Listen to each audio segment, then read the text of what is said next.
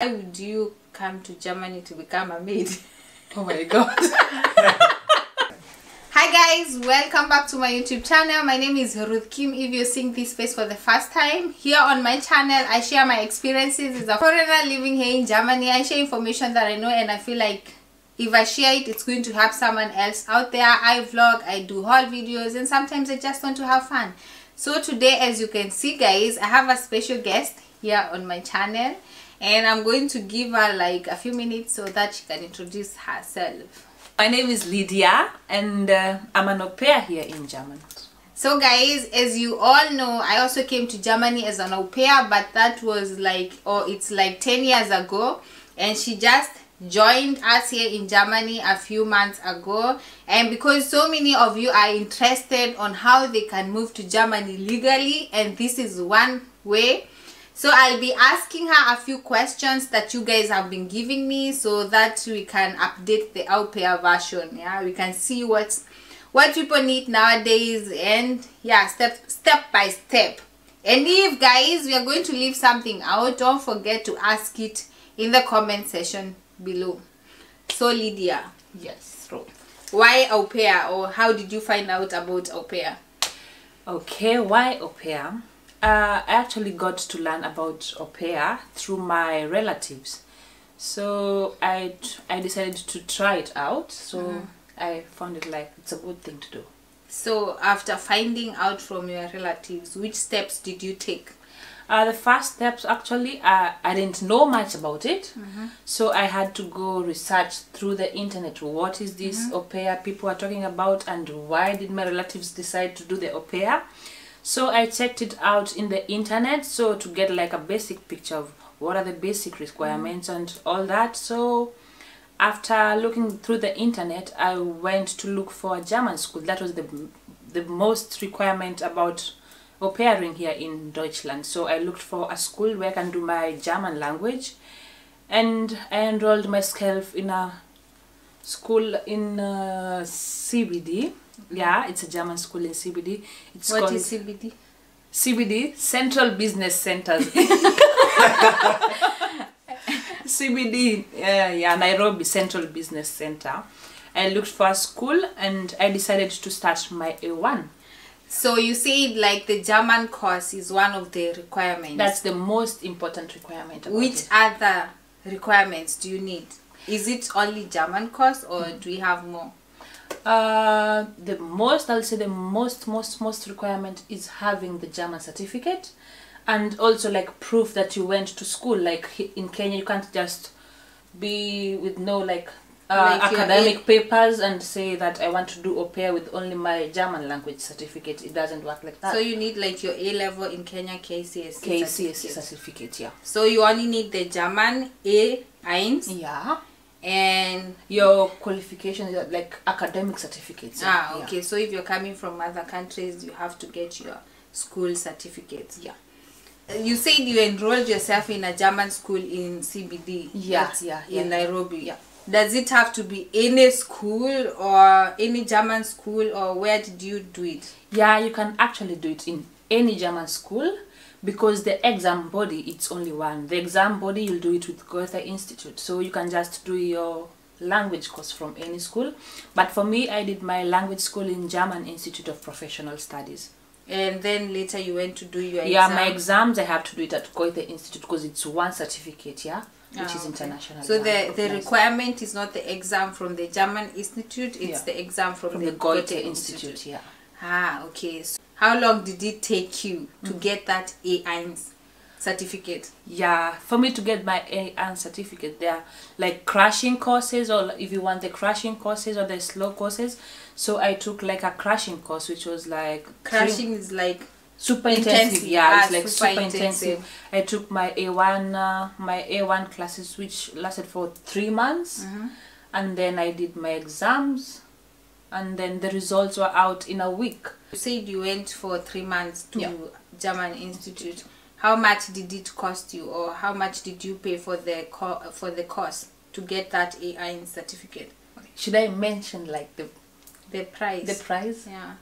Exact price? Yeah.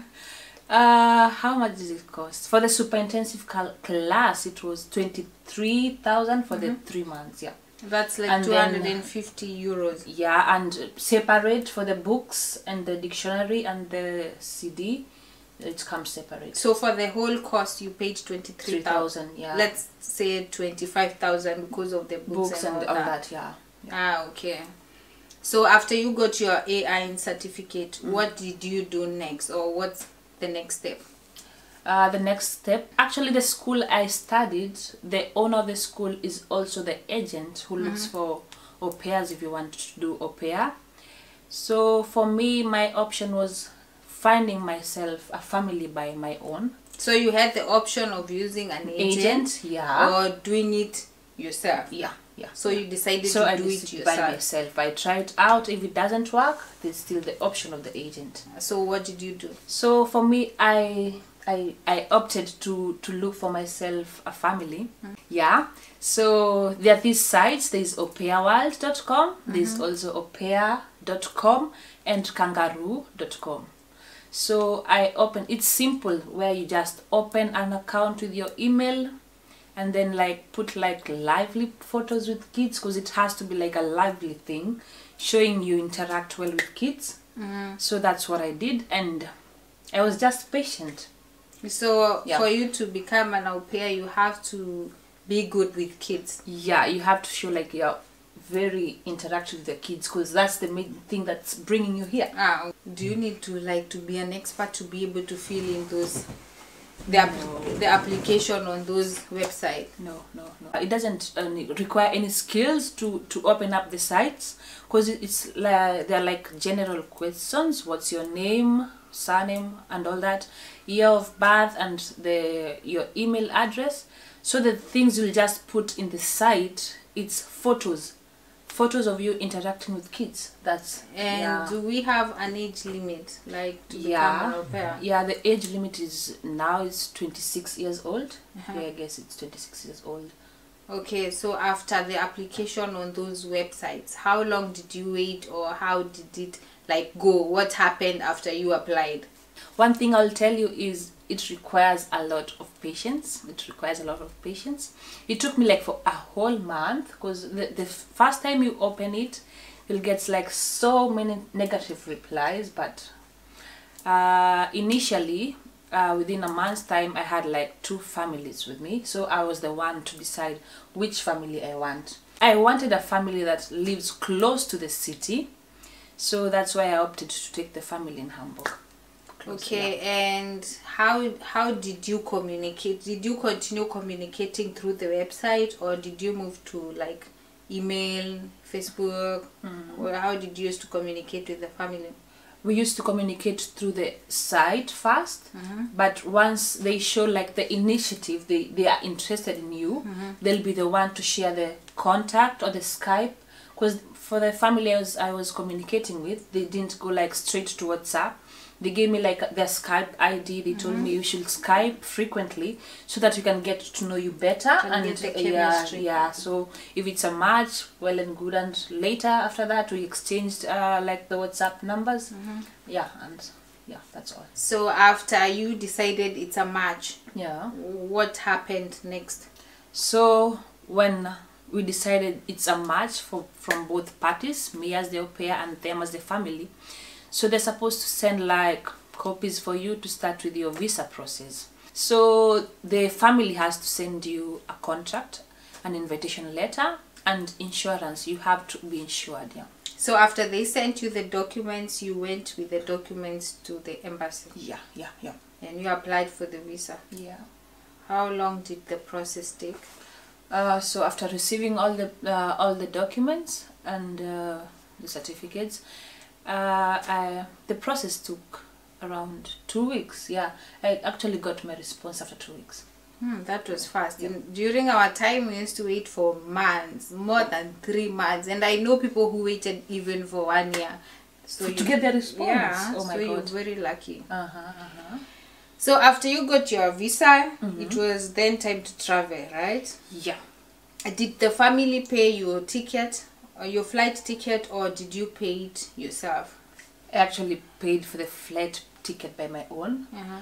But if you get a good family, it depends with the communications you have with the family. Some are willing to pay, but for me, I didn't go to that extreme. So I just paid for my own flight. But they're not just paying for you; they're going to cut it from Uh, your. Fro- from your salary, depending with the agreement. So can you imagine them cutting? Cutting, that means half of the year you won't get anything. yeah, Okay, Lydia. Now you're here. yeah. So far, you've been here for a few months now. Yeah, I've been here Would you like, like to share with us maybe your experience as an au pair for those few months that you've been here? Yeah, so I arrived. Yeah, we connected with the family, and got the chance to to to meet the kids. I, I was thinking I was actually taking care of two kids. A How girl, old? yeah, a girl and a boy. The boy was five years, so sweet, oh, and the uh, uh, wait, the boy was five years and the girl was two years. So we connected, and uh, what I'll say, we hadn't communicated so well with the family. I had to drive a car and I have my driving license back at home in Kenya, which we drive basically on the left, and here we drive on the right. So that was actually a major problem for me. So I tried uh, for the first week, but it didn't work out. So the So family, yeah, you, after coming to Germany, you had to drive the kids to school. yeah, yeah, yeah. Okay. Mm-hmm. So it was for me it didn't work out and the family saw that it's not working out. Mm-hmm. So after some few weeks we started having like uh, conflicts, yeah. Mm-hmm.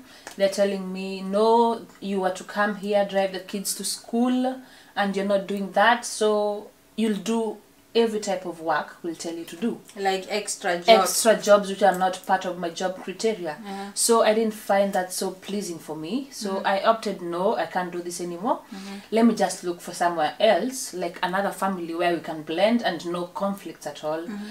So I went back to the site So you decided to look for another family, family on your own. on my own, yeah. Ah, okay. So I explained the family was there. I just told them no. The family I'm with currently now, we're not getting on so well because of driving. I just need a family that doesn't need me to drive the kids to school. Ah, so on the Yeah. website you stated why you want to change the family. Yeah, yeah, Ah, yeah. okay. And you have to give like the, the current family you're with, you, you have to give them like a notice. I'm not going to stay with you anymore. So uh, you have to actually terminate the contract in a duration of 14 days, which is like two weeks. Okay. So I had 14, 14 days to look for another family. Uh-huh. So that that's how it went. How was the reaction of the family after you told them that you wanted to look for another family? Wow, it was weird. I'll say it was weird. No, when you walk in the dining hall and no, not the dining hall, in the dining table and they're not talking to you, they're just like giving you that the look. Like Yeah, it was it was quite. those 14 days were hard. They, they were quite hard. I'll wait for my hours to end. As soon as my hours are finished, I go back to my room and lock myself. So was it hard for you to look for another family? I wouldn't say it's hard. It's not quite hard. As long as you state uh, the other option of changing family, you have the decision. I want this place. You can actually cancel by yourself. No, I don't want this family. If I want to go to a big city, you have like multiple options for yourself. So coming from Kenya is the hardest That's part. the hardest part. But when, when, you're here in Germany, the opportunity of getting host families yeah, is just sweep left. No, I don't want. No, I don't want. Until you get what you want. So now you're in, you're with your new family. Now I'm currently living my. What happened to your visa? Because the visa you came with Hmm. was with the first family. What happens to the visa when you change your family? Uh, it's not quite a, a hard process. What you do, you go to the Ausländer. Uh, Yeah, yeah, you because there's office. yeah you go to the immigration because you have the contract of termination with Mm. the other family. You take the contract of termination and tell them I cancelled my contract with this Mm-hmm. family, and then they'll ask for like certain documents from your current family. So you take them to the office and everything is sorted out. Ah, Yeah, okay. Yeah. And are you happy with your current family? Wow, I can't complain about it. I can't. I can't actually complain about it. So it's treating you well and you're happy. Yeah, I'm so happy. It's actually one of the best decisions I made. You say the visa is au pair visa Yeah, and au pair goes for one year. Can Yeah. you extend the visa? Like, can you, after one year, can you extend? Yeah, according to what I researched, because I didn't know much about au pairs, what I know, you can actually extend your pair visa, but not in Deutschland. Ah, you can go to It's another broad country. in Europe. You can actually extend it in Europe, but not in the same land you're in, like Deutschland. Yeah. Like most people who are au pairing in Germany, after one year they go to Austria, yeah, Denmark, Netherlands. Denmark, Netherlands. You have the chance to move around Schengen Yeah. with au pair. Yeah. And do you get like paid for your au pair services? Yeah, I'm not actually paid. I get like monthly allowances. That's what I get. I Like get pocket money? yeah, pocket money. Ah, okay. And do they pay for your German course? Yes, they pay for my German course and they pay for my bus ticket to the German course. That's okay. That's fair enough. What other benefits do you have like as an au pair here Mm-hmm. in Germany? I wouldn't say like au pair is not quite a hard thing because you have to work like six hours a day. Mm-hmm. Six hours a day is not too much, and you have like the rest of the day it's your free time. You get the chance to explore. And learn about the German culture. Yeah, living in a house without paying for rent. Ah, okay. Yeah. Ah, do you have to have your own room by the way, or do you share with the kids? No, I'm, I ha- uh, for my uh, with my current family, and we, I have everything to myself. Ah. My room, yeah, everything. Okay, last but not the least, why would you come to Germany to become a maid? Oh my god. no, because by the way, guys, we didn't. If you're watching up to this far and you still don't even understand what au pair is, au, Yeah. au pair is like a, it's a culture exchange where you come to Germany, live with a host family, Yeah. and the host family has kids, so you're going to be helping this host family to take care of the kids. Yeah. And then they're going to like help you with the cost of the German language and Mm-hmm. help you when it comes to exploring, learning the German culture, learning the German streets and everything else. yeah, yeah. But in our language, it's like coming to Germany to become a maid. Why would you do that? Wow, why would I do that? Uh, actually, it's one of the best opportunity for you to experience something outside your like outside your country at a cheaper cost. Yeah. Yeah, when you look at the co- pocket money, you don't like use your pocket money because you live in an unpaid house. They give you the food, so with your pocket money, you get the chance to explore and also learn the, learn the language, where it's fully paid by the host family. And because I also came to Germany as a maid, it's actually a it's like a gate pass. Yeah. It's a path to exploring in future to looking for greener pastures Yeah. because you don't have to stop there. Yeah. You can decide either to go back home or Yeah. to take another direction. To go to England, go to anywhere else. if you have any other question, like I mentioned earlier, don't forget to ask on the comment section below. She's going to answer all your questions. And if you want to come through an agent, it's also going to be down there. We have we are going to recommend the agent who is in charge of the school where Yeah. she went to. So that was it, guys. Thank you so much, Thank you for hosting me. for coming Thank to you. our channel. Thank you. oh my god. okay. Thank you so much guys for watching. Don't forget to subscribe. Lydia tell your friends to subscribe. Bye, and my friends back at home, please don't forget to subscribe. bye bye